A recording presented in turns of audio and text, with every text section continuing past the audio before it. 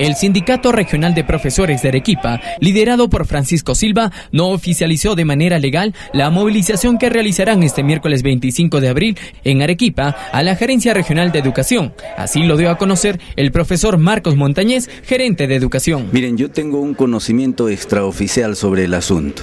Sé que hay una movilización. Eh, el SUTE vino a hacerme una visita en la semana pasada y solo me anticipó verbalmente. De manera oficial no tengo ningún conocimiento. Por otro lado, eh, ratifico que el Ministerio de Educación tampoco me ha comunicado algo oficial al respecto, de manera que no puede haber paro.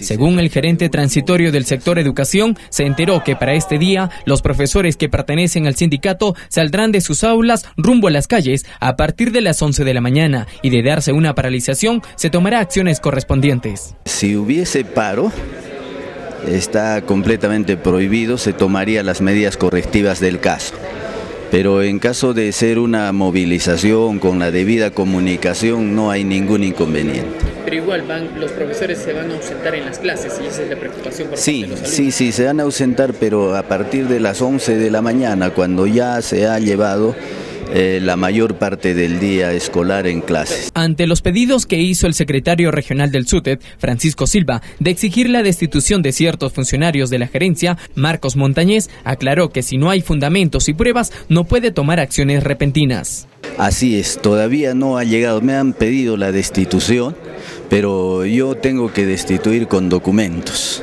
con pruebas. Y, sí, y mire, estamos en investigación. Si es que hubiera elementos de juicio necesarios y suficientes para llevar a, cabo un proceso administrativo o tomar medidas más radicales, tenga la plena seguridad que lo vamos a hacer. Finalmente, señaló que en los próximos días convocará una conferencia de prensa para avisorar los cambios que realizará en la gerencia de educación durante su gestión.